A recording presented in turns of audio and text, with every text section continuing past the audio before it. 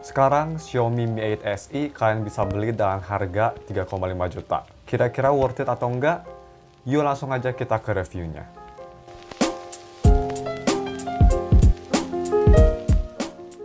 Halo guys, nama gue Stefan dari StefTech dan kembali lagi di channel yang isinya budget teknologi semua.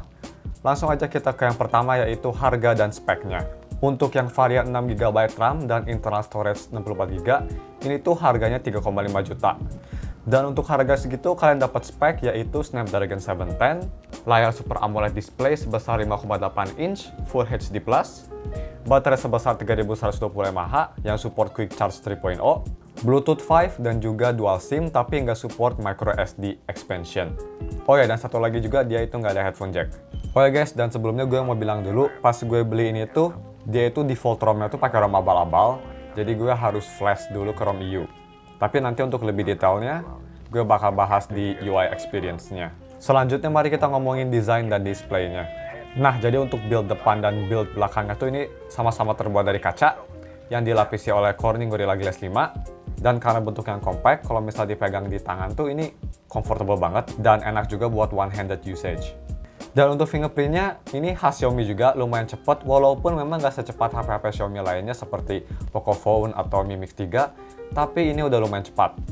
Sama halnya juga untuk Face ID, cepet banget juga, dan kalau misalnya mata kita tertutup, dia itu nggak bakal bisa nge-unlock, dan juga walaupun di keadaan yang gelap, dia itu masih bisa nge-scan face kita.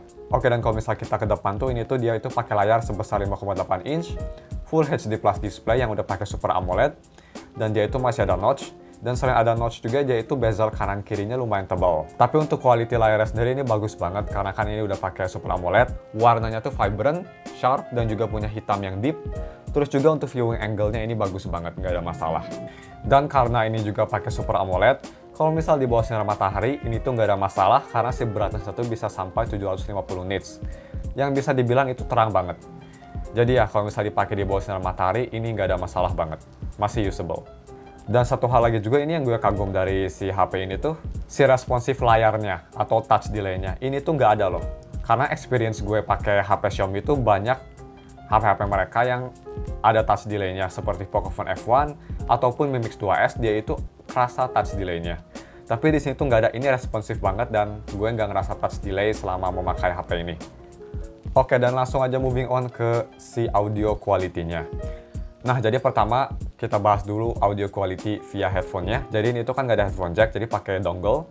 Dan gue pas pertama coba ngedengerin pakai headphone gue, gue lumayan impress dengan suara yang dikeluarin dari HP ini via si headphone-nya. Jadi si audio quality-nya tuh bagus banget, suaranya jernih, terus juga volumenya tuh bisa keras. Dan juga dia tuh punya bass yang punchy, dan untuk overall ini tuh fun banget didengar lah. Walaupun memang si sound signature-nya lebih ke warm, bukan ke bright, tapi ini mantep banget buat kalian yang suka pakai headphone. Ini enak.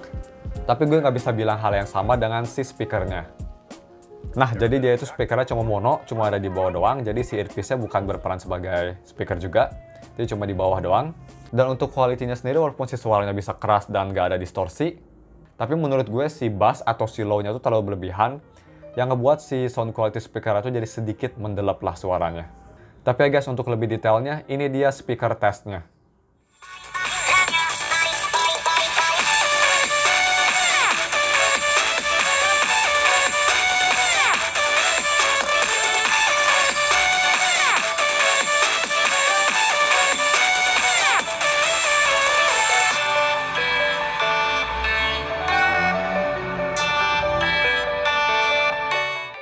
Selanjutnya mari kita ngebahas tentang si kameranya. Dan untuk kamera belakangnya itu pakai setup dual kamera, yang main kameranya itu sebesar 12 megapiksel dengan f1,9 dan kamera secondary-nya itu sebesar 5 megapiksel dengan f2,0 yang berperan sebagai depth sensor. Dan untuk kamera depannya itu sebesar 20 megapiksel dengan f2,0. Dan gambar yang diambil menurut gue ini udah bagus banget di harganya. Gambar yang diambil itu sharp, vibrant, dan juga punya dynamic range yang baik. Sama halnya juga dengan si front kameranya juga, gambar yang diambil juga bagus, detail dan juga punya warna yang vibrant. Dan untuk si video recordingnya sendiri dia itu bisa sampai 4K 30 fps. Tapi kalau misalnya kalian pakai settingan 4K, si electronic image stabilization-nya tuh bakal mati. Tapi ya guys, untuk si quality videonya ini dia sampelnya pakai setup 1080p.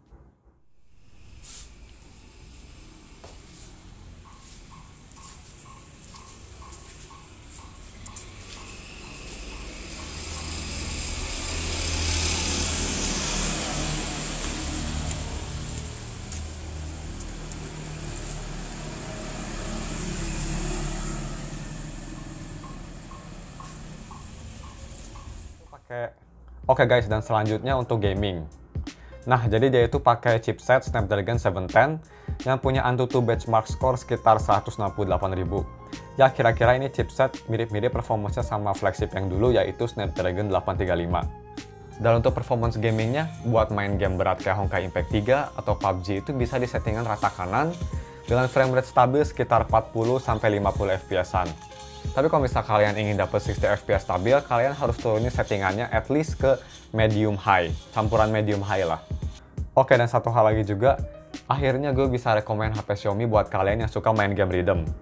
Kenapa? Karena di Mi 8 SE ini tuh buat main game rhythm kayak Bandori atau Love Life, ini tuh bagus banget.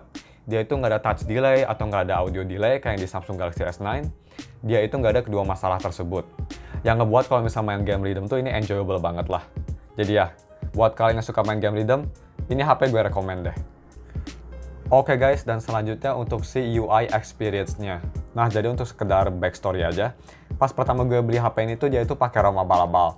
Tapi untungnya HP ini tuh udah unlock, jadi gue bisa flash ke ROM EU. Dan untuk si ROM EU-nya juga dia itu udah pakai MIUI 10 paling baru. Dan juga si Android-nya tuh udah pakai Android yang paling baru yaitu Android Pie. Dan untuk si ROM EU-nya sendiri dia itu punya banyak fitur yang di ROM abal-abal itu nggak ada. Seperti Face ID, itu di ROM abal-abal itu nggak ada, tapi di sini itu ada. Dan selain itu juga banyak fitur-fitur unik yang di MIUI asli pun nggak ada. Seperti kalau misal kita pencet power button selama 0,5 detik, dia itu bakal nge-launch Google Assistant. Tapi ya guys, untuk overall si UI-nya sendiri, ini tuh snappy banget. Karena Snapdragon 710 tuh bisa dibilang prosesor semi flagship lah. Jadi untuk everyday usage ini nggak ada masalah multitasking enak banget, semua smooth, dan gue nggak ngerasa lag selama gue pakai HP ini. Oke, dan selanjutnya untuk si battery life-nya. Jadi si HP ini tuh punya baterai sebesar 3120 mAh, dan gue bisa bilang walaupun kapasitasnya kecil, tapi ini screen on time lumayan impresif. Bisa kita lihat di sini dia itu punya standby time selama 12 jam, dan juga punya screen on time sekitar 6 jaman. Yang bisa gue bilang ini lumayan impresif untuk baterai yang cuma 3120 mAh. Dan untuk si charging speednya sendiri, ini juga salah satu yang impresif. Gue yang ngecas dari 20% sampai 100% tuh cuma butuh waktu sekitar 1 jam 15 menit. Yang bisa dibilang dengan waktu segitu, ini HP ngecasnya cepet banget. Tapi ya guys, overall untuk konklusinya, ini HP untuk harga 3,5 juta emang nggak ada yang bisa ngalahin. Punya build yang premium, chipset yang powerful banget yang bisa dibilang semi flagship, dan juga punya kamera yang solid banget. Tapi memang ada satu kelemahan yang bisa bikin HP ini tuh jadi deal breaker. Yaitu ini tuh garansinya masih garansi distributor atau bisa dibilang ini produk gak resmi. Yang artinya kalau misal HP ini tuh ada apa-apa atau rusak, kalian nggak bisa ngebenerin HP ini tuh ke Xiaomi Official Store. Karena mereka nggak bakal nerima. Tapi kalau misal kalian nggak peduli tentang si garansi distributor gitu, gue bener-bener 150% ngerekomen HP ini.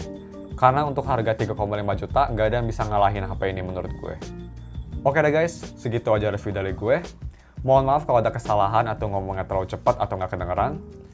Kalau misal kalian suka video ini, kalian bisa like. Kalau misal kalian nggak suka, kalian bisa dislike. Subscribe juga kalau misal kalian ingin ngebantu channel gue. Thanks for watching. We'll see you in the another video. Bye. Boom.